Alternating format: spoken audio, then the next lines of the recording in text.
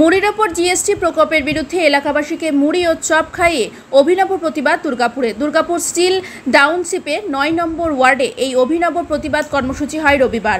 ওই ওয়ার্ডের প্রাক্তন তৃণমূল কাউন্সিলর পল্লব নাগ প্রতিবাদ কর্মসূচিতে নেতৃত্ব নেন। কর্মসূচিতে অংশ নেন তৃণমূল কংগ্রেসের মহিলা কর্মীরা সহ এলাকাবাসীরা। প্রায় পাঁচশো জন এলাকাবাসীকে এদিন মুড়ি ও চপ খাওয়ানো হয়। কাউন্সিলর বিপ্লব নাগ বলেন কেন্দ্র সরকারের অমানবিক এই নীতির বিরুদ্ধে আমাদের প্রতিবাদ। মুড়ি সরকার মুড়ির ওপর জিএসটি বসিয়ে মানুষের ওপর অত্যাচার করছে। এর বিরুদ্ধে বাংলা নয় সারা ভারতবর্ষের মানুষ এক হোক। ভয়ানক সরকার এসছে আমাদের দেশের মধ্যে। সব কিছুতে জিএসটি বসিয়ে দিচ্ছে। আজকে কীভাবে আন্দোলন আমরা আজকে মানুষকে পাঁচশো মানুষকে আজকে মুড়ি খাওয়াবো। এটা নিয়ে যে মানে মুড়ির উপর যে জিএসটি এই জন্য আমরা আজকে পাঁচশো মানুষকে আজকে মুড়ি খাওয়াবো।